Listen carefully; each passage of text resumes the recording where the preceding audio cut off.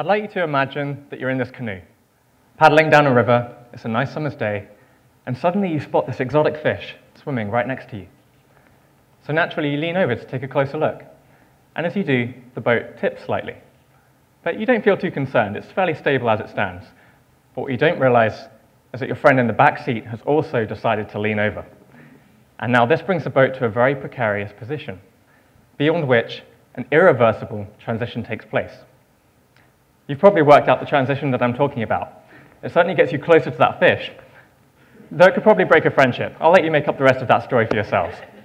Ah, the point is, this canoe possesses something known as a tipping point, a point where the qualitative behavior of a system suddenly changes, resulting in what's known as a critical transition.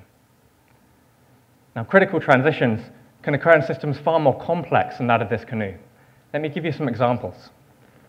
Financial crashes, epileptic seizures, disease outbreak, species extinction.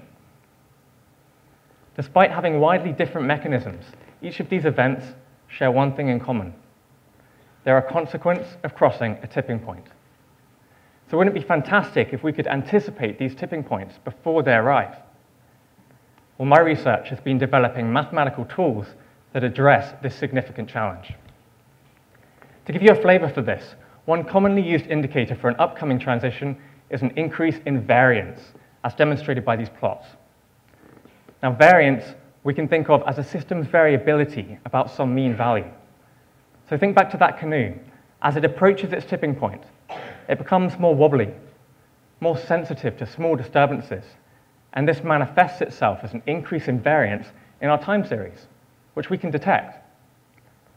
However, these signals that we commonly use today have only been proven mathematically to be reliable in relatively simple systems. So my research is extending this work to more complex systems, particularly those involving social dynamics coupled to ecological dynamics. In this new age of online social networking, there is a huge amount of data that can be exploited for detecting critical transitions in these systems. And finding the right early warning signals is key to making sure that we, as a society, avoid tipping our canoe, Mother Nature, into an undesirable state.